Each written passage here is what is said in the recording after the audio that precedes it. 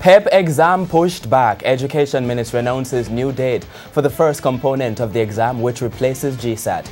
Good evening and welcome to Primetime News on air and online at onespotmedia.com. I'm Archibald Gordon. And I'm Doreen Samuels. Also this evening, Misguided, head of the Diabetes Association, slams push against sugary drinks in schools. Staunch defense. Former NESOL boss continues the defense of her stewardship. Reform coming. Prime Minister Andrew Holness promises revision of the NHT. And in business news, setting new records, gasoline price jumps to new high. There's also sports post commentary and weather in this newscast, but before the break, the feedback question. This evening, we are asking what is your reaction to the government pushing back the sitting of one component of the PEP exam?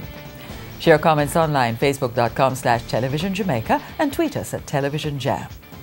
Please stay with us. Primetime News returns right after this break.